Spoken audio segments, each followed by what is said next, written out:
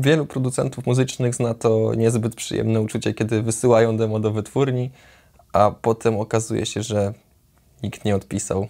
I w sumie sami nie wiemy, co jest y, tego przyczyną, tak więc w tym odcinku porozmawiamy trochę o tym, jak zmaksymalizować szansę na to, że rzeczywiście ktoś się do nas odezwie, ktoś nam odpowie. Więc zapraszam do oglądania. Pierwszą sprawą, którą naprawdę warto rozważyć, jest to, czy w ogóle utwór jest wystarczająco dobry. Nam się może oczywiście wydawać, że stworzyliśmy jakieś kolejne cudo, które podbije listy przebojów, y, ale jednak y, po zasięgnięciu opinii kilku kolegów, producentów może się okazać, że no, powiedzą ci, no stary, no niestety twój utwór się jeszcze nie nadaje. Kolejna sprawa jest taka, żebyśmy przypadkiem y, nie wysyłali dema wieczorem tuż po skończeniu utworu. Czy zakładając na przykład, że pracujemy nad utworem wieczorem w nocy i wysyłamy demo. Najlepiej będzie poczekać do rana, posłuchać sobie tego utworu na świeżo i nagle okaże się, że znajdzie się kilka rzeczy, o których, których jakby nie wysłyszeliśmy, a wysłanie utworu z tymi błędami spowodowałoby totalną katastrofę.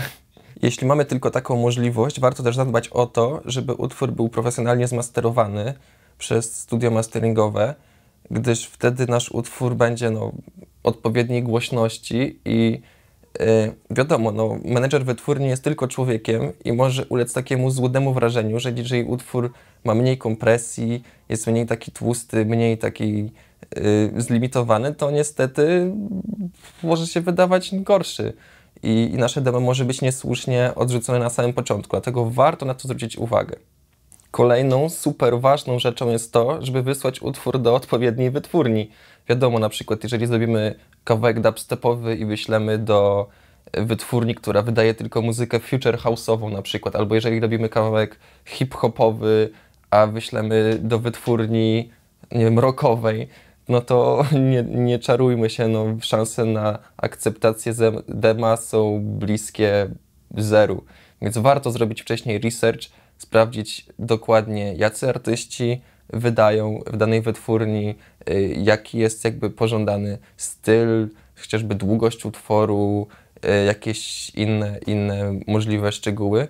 Warto też na pewno zdobyć bezpośredni kontakt, bezpośredni adres e-mail do menedżera wytwórni, czyli tego menedżera A&R, który rzeczywiście słucha dem, które, które są przesyłane do, do danego labelu Y, czasami nie jest to łatwe, szczególnie jeżeli mam do czynienia z taką no, dużą wytwórnią, która naprawdę dostaje na przykład tygodniowo tysiące DM, mm, ale nie ma rzeczy niemożliwych. Często można znaleźć adres pytając y, ludzi, którzy już wydawali tam, gdzie chcemy wysłać utwór, albo na przykład nawet na Facebooku, na jakiejś stronie internetowej, albo nawet możemy bezpośrednio starać się skontaktować z tą osobą i nawiązać z nią jakąś relację. Na pewno musimy też spełnić wszystkie wymagania wytwórni yy, co, do, co do nadsyłanych dem. Często piszą one swoje wytyczne na swojej stronie internetowej lub na Facebooku, ale jeżeli takich no, nie znajdziemy, warto pamiętać, że tak, nie wysyłamy więcej niż naraz, więcej niż na przykład dwa utwory, czyli dwa najlepsze utwory. Po drugie, pod żadnym pozorem nie wysyłamy y, załączników do maila, y, bo one po prostu zapychają skrzynkę mailową. Nikt nie będzie tego, te maile są najczęściej od razu po prostu kasowane. Y, więc najlepszym rozwiązaniem jest chyba link do SoundClouda na przykład, albo, albo do Dropboxa bezpośredni link. Um, dlatego, że SoundCloud umożliwia szybkie odsłuchanie utworu. Wiadomo, menedżer ma na przykład takich tysiąc dem do odsłuchania, no, albo na przykład 100. No i on przecież nie będzie każdego utworu pobierał, słuchał, nie, po prostu nie będzie mu się chciało. Pamiętajmy, żeby była też opcja download, yy, czyli że można ten utwór w ogóle pobrać. No i pamiętajmy też o tym, y, że nie możemy wysyłać wiadomości do takich seryjnych, do wszystkich y, wytwórni naraz. Bo wiadomo, każda chce być czucie wyjątkowa i chce mieć taki ekskluzywny materiał, niedostępny dla innych, więc wysyłając po prostu do wszystkich i to jeszcze jeżeli to w ogóle jest widoczne, że jest, ten mail jest wysłany do wszystkich, to po prostu większość takich maili też jest natychmiast po prostu kasowana. Najlepiej wysyłać tylko do jednego labelu naraz i czekać na odpowiedź, na przykład tydzień.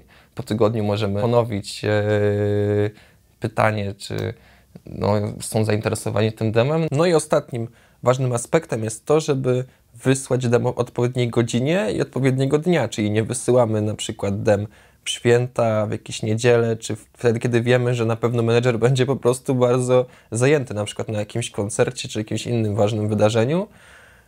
No i jeżeli chodzi o godzinę, to tak myślę, że warto wysłać rano, czyli żeby albo, albo wieczorem w nocy, tak żeby y, osoba, typowa osoba, która sprawdza demo na przykład o 10, 11, no żeby po prostu mogła sobie to demo otworzyć.